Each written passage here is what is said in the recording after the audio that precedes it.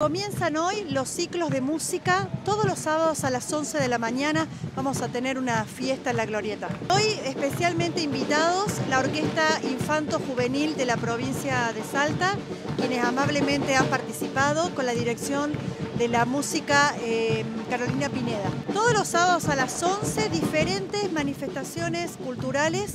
Por lo general va a ser música, pero no porque teatro. Eh, a medida que se vayan acercando los artistas, sobre todo los, artistas emergentes, aquellos que quieran compartir su arte en la glorieta son bienvenidos para que se acerquen a la Agencia de Cultura.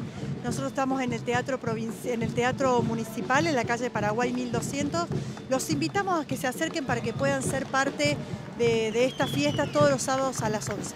Y estamos acá reunidos eh, para poder mostrar un poco las tareas que se hicieron en la glorieta. Eh, pero bueno, esto siempre aclarar que esto se intimó eh, a la empresa a terminar las tareas que estaban ya pagadas y pactadas en el pliego, porque en la obra de la plaza se hizo un pliego original y después tres obras complementarias y adicionales, y bueno, y eso había quedado inconcluso las, las tareas. Entonces, desde la municipalidad, desde la nueva gestión, eh, con el área de gestión patrimonial y el área de especial área centro eh, y con la UNACODE intimamos a la empresa para poder terminar las tareas que estaban algunas mal ejecutadas y otras sin concluir. Claro, en realidad la glorieta estaba como mal ejecutado todo el cielo raso, entonces se, volvió a, ocupar bien las placas del cielo raso, la parte del, piso, le faltaban todavía maderas, entonces se restauró toda la parte de, eh, faltantes de madera, se reemplazaron las que estaban en mal estado,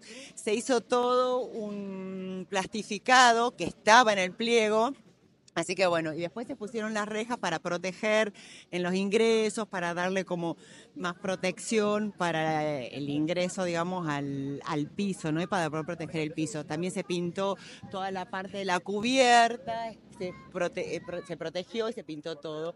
Y sobre todo también hicimos mucho hincapié en lo que es seguridad, porque acá se cambiaron toda la parte de luminarias entonces todos los tableros fueron nuevos, entonces se exigió que cumplieran con toda la normativa, se aprobaron los planos en el COPAIPA, que es el Colegio de Ingenieros, y, y bueno, se hizo mucho hincapié en toda la parte de seguridad también esto es 100% de la empresa. O sea, lo único que nosotros hicimos es exigir que se terminaran las tareas que estaban ya casi certificadas el 99,8% y habían tareas que faltaban realizar.